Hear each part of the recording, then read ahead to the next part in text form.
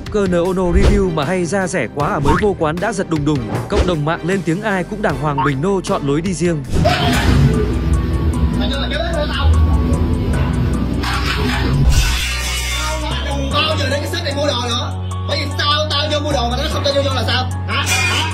Anh có phải NONO không ạ? Ờ, nó nó là sao hỏi hoài vậy Dạ NONO thì, thì em không tiếp Mời anh thử đi được mình rất buồn khi đến ăn mà bị bảo vệ đuổi ra Nổi danh với những đoạn clip review gây tranh cãi, lời lẽ thô lỗ, hành động cọc cằn và thường xuyên khơi mào cuộc chiến với những nhà sáng tạo nội dung khác trên mạng xã hội. Chính vì cách làm không giống ai mà cũng không ai giống mình như vậy, nên nam tiktoker luôn nhận về nhiều bình luận trái chiều và vô vàn sự phẫn nộ khi cố tình làm lố dẫn đến lố lăng, dẫn đến ô dề cho người xem. Điển hình như đoạn clip anh ném đĩa hào xuống đất sau đó còn quát tháo bạn nhân viên và những người xung quanh khi nhìn thấy hành động quá đáng của mình. Cụ thể, vừa mở đầu video anh đã khiến người xem giật mình với hành động giật đùng đùng đó của mình rồi hét lớn kêu đầu bếp ra đây. Tuy nhiên, đây chỉ là tình huống Naono cố tình tạo ra để gây sự chú ý với mọi người. Vì trong đoạn clip nam tiktoker cũng giải thích mình hiểu lầm vì ban đầu anh kêu chỉ 1 kg thôi nhưng quán lại mang ra 3 kg.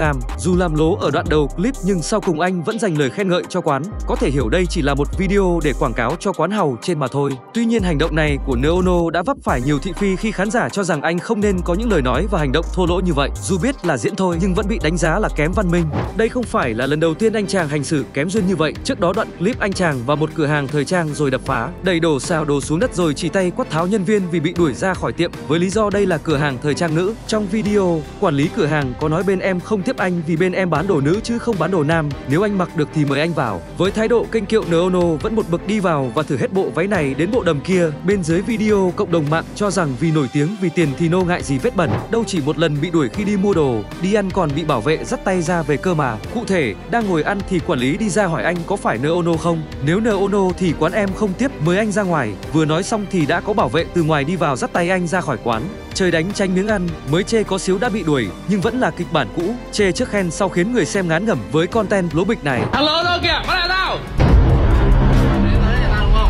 Có đâu Cái gì đây trời cho ăn toilet thiệt à Đâu chỉ bị đuổi, với sở thích đi ăn sơ hở là review toilet nên lần này anh được đưa luôn vào toilet ngồi ăn. Dù biết chỉ là tình huống được dàn dựng nhưng với cách làm gây phản cảm và không an toàn vệ sinh khi ăn này đã khiến một bộ phận lớn khán giả phẫn nộ, cho rằng anh hết content sạch sẽ, hợp vệ sinh rồi hay sao mà phải vào toilet để ăn. Cho dù nhà vệ sinh này có sạch sẽ như thế nào đi chăng nữa cũng không nên. Hay như hành động đẩy nhân viên nữ của một quán lẩu anh được booking review cũng làm người xem vô cùng khó chịu. Dù chỉ thoáng qua nhưng hành động đó đáng bị lên án vì xem thường người khác. Mặt khác, bạn nhân viên đó cũng khá lịch sự khi đã cúi đầu chào anh lúc bước vào quán, dù trước đó bạn có từ chối cho anh chàng tham gia thử thách bên quán mình. Mày chơi được không Dạ không Anh là nợ nó không? Ừ Em không cho anh chơi Không cần mày chào biến chỗ khác Dẫu vậy, có ghét thì mình là đàn ông động tay, động chân với phụ nữ. Mặc dù chỉ là diễn nhưng cũng không ai chấp nhận được với cách làm đó của nam tiktoker. Qua những clip review mà như dằn mặt chủ quán của Noono, nhiều cư dân mạng nhận xét đây là cách làm chẳng mấy hay ho toàn gây khó chịu cho người xem. Thế nhưng anh chàng vẫn bỏ ngoài tai dẫn đến nhiều sự việc đáng trách. Trước đó, Noono được xem là một chiến thần review trên TikTok. Anh thường xuyên chia sẻ những video chê thậm tệ những quán ăn và thu về hàng triệu lượt xem và theo dõi. Còn bạn qua những sự việc trên có suy nghĩ như thế nào về nam tiktoker này? Hãy để lại cảm nhận nhận bên dưới cho mọi người cùng biết với nha.